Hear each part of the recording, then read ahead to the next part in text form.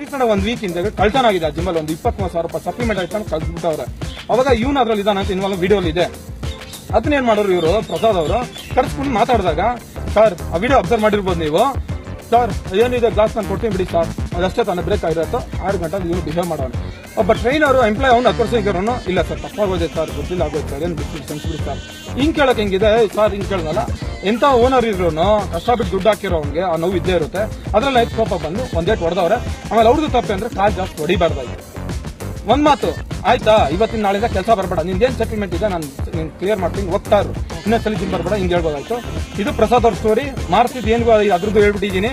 ವಿಜಯ್ ಅವ್ರಿಗೆ ಇದರಲ್ಲಿ ಮಾಸ್ತಿಗುಡಿಯಲ್ಲಿ ಇವರು ಟ್ರೈನ್ ಮಾಡಾಗ ಅನಿ ಉದಯ್. ನಿಮ್ಗೆ ಗೊತ್ತಿರ್ಬೋದು? ಅನಿ ಉದಯ್ ಆಮೇಲೆ ಇವರು, ಒಂದು ವಿಷಯ ಈಗ ವಿಡಿಯೋ ತೋರಿಸ್ತೀನಿ, ಒಂದೇ ಒಂದು ಸಫರ್ ಒಂದೇ ಸೆಕೆಂಡ್ ಇದ್ರಲ್ಲಿ ಇವರು ಎಷ್ಟು ಕ್ಲೋಸ್ ಆಗಿದ್ರು ಅಂತ ನಿಮ್ಗೆ ಗೊತ್ತಾಗುತ್ತೆ. ಇಲ್ಲಿ ನೋಡಿ. ಅನಿ ಇದ್ದಾರೆ ಉದಯ್ ಇದಾರೆ ಮಾಸ್ತಿಗುಡಿ ಟೈಮ್ ಮೀಸೆ ಬಿಟ್ಟವ್ರೆ ಕ್ಲೀನೇ ಮಾಡ್ತಿದ್ದಾರೆ.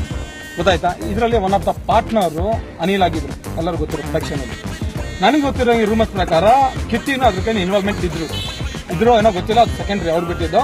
ಆಮೇಲೆ ಏನಾಯ್ತಾ ಮಾಸುಗುಡಿಯಲ್ಲಿ ಅವರಿಬ್ರು ಡೆತ್ ಆಗ್ಬೇಕಂದ್ರೆ ಒಬ್ಬ ಟ್ರೈನರ್ ಆಗಿರೋನು ಬಾಡಿ ಕಂಡೀಷನ್ ಹೇಗೆ ತಗೊಂಡೋಗ್ಬೇಕು ವಾಟರ್ ಕಡಿಮೆ ಆದಾಗ ಅವ್ನಿಗೆ ಎನರ್ಜಿ ಇರುತ್ತಾ ಇಲ್ವಾ ಲೆವೆಲ್ ಅದೆಲ್ಲ ಫಾಲೋ ಅಪ್ ಮಾಡಬೇಕು. ಇವರು ಹಾಗೆ ಏನೋ ಫ್ರೂಟ್ಸ್ ಕೊಟ್ರಂತೆ, ಆಮೇಲೆ ಏನೋ ಹಣ್ಣು ತಿನ್ನಕ್ಕೆ ಕೇಳಿದಂತೆ ಆಮೇಲೆ ಅದ್ರ ಮೇಲೆ ಜಂಪ್ ಮಾಡಿ. ಒಬ್ಬ ಕೋಚ್ ಕ್ರಿಕೆಟ್ ಅಲ್ಲಿ ಆಡುವಾಗ, ಒಬ್ಬ ಡೈಟಿಷಿಯನ್ ಇರ್ತಾನೆ, ಇಲ್ಲ ಒಬ್ಬ ಕೋಚ್ ಇದ್ದಾಗ ಏನ್ ಮಾಡ್ತಾನೆ ಏಟ್ ಬಿದ್ದಿದ ತಕ್ಷಣ ಇಮಿಡಿಯೇಟ್ ಆಗಿ ಕರ್ಕೊಂಡ್ ಬರ್ತಾನೆ ಅವ್ನಿಗೇನು ಫಸ್ಟ್ ಏಡ್ ಮಾಡಬೇಕು, ಪ್ರತಿಯೊಂದು ಮಾಡ್ತಾನೆ. ಅವ್ನಿಗೆ ಕ್ರಿಕೆಟ್ ಮತ್ತೆ ಆಡಕ್ಕೆ ಅವ್ನಿಗೆ ಏನ್ ಎನರ್ಜಿ ಎನರ್ಜಿಗೆ ಏನ್ ಫುಡ್ ಕೊಡಬೇಕು, ಏನ್ ಮೆಡಿಸಿನ್ ಸಪ್ಲಿಮೆಂಟ್ಸ್ ಕೊಡಬೇಕು, ಅದೆಲ್ಲ ಕೊಡ್ತಾನೆ. ಇದು ಅವತ್ತು ಮಾಡಿರ್ತಾ ಇದ್ರೆ, ಆ ಇಬ್ರು ಪ್ರಾಣ ಉಳಿದಿರೋದು ಅನ್ಕೋತೀನಿ ಬಟ್ ಅವ್ರು ತಪ್ಪಿದೆಯಲ್ಲ ಗೊತ್ತಿಲ್ಲ ಕಿಟ್ಟಿ ಅವ್ರದ್ದು ಆ, ಇದರಿಂದ ವಿಜಯ್ ಅವ್ರಿಗೆ ನಾನು ಮುಂಚೆ ಹೇಳಿದ್ದೀನಿ. ಅನಿ ಉದಯ್ ಬಂದು. ಒಂಥರ ಮನುಷ್ಯನಿಗೆ ರಕ್ತ ಉಸಿರಿದ್ದಂಗೆ ಆ, ಇಬ್ರು ಕಳ್ಕೊಂಡ ಇದ್ರಲ್ಲಿ ಕಿಟ್ಟಿಯಿಂದ ಬೇಡ, ಇವನ್ಗೂ ಬೇಡ, ನನ್ಗೆ ಯಾರು ಬೇಡ ಅಂತ ಹೇಳಿ ಕಿಟ್ಟಿನ ದೂರ ಇಟ್ರು. ಕಿಟ್ಟಿ ತುಂಬಾ ಸಲ ಟ್ರೈ ಮಾಡೋರು ವಿಜಿ ಕಾಂಟ್ಯಾಕ್ಟ್ ಮಾಡಕ್ಕೆ.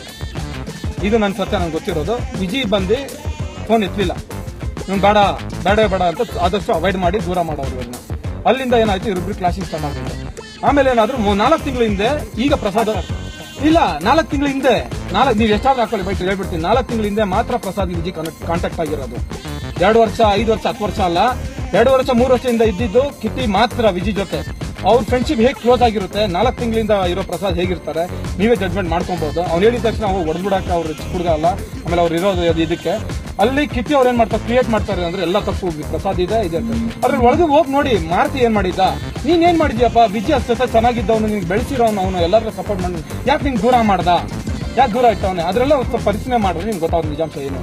ಇದರ ಬಗ್ಗೆ ನಿಮ್ಮ ಅನಿಸಿಕೆಗಳನ್ನು ನಮ್ಮ ಕಮೆಂಟ್ ಬಾಕ್ಸ್ ಮೂಲಕ ತಿಳಿಸಿ ಗೆಳೆಯರೆ. ಏನ್ ಹುಡುಕ್ತಿದ್ಯಾ?